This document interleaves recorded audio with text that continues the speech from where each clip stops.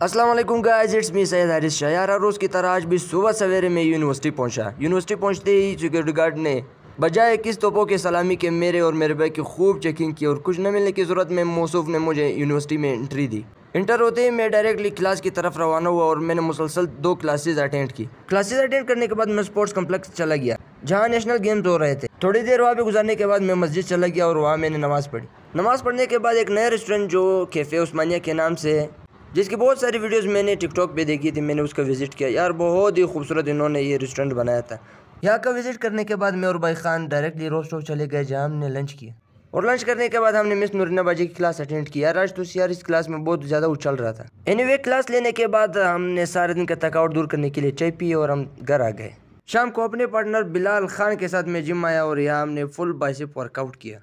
Vlog class में short सा message ये कि अपने मसरूफ ज़िंदगी में एक घंटा फिटनेस के लिए निकाल लिया करें। बिकॉज़ जब तक आप फिजिकली फिट नहीं होंगे, तब तक आप कोई भी काम सही से नहीं कर पाएँगे।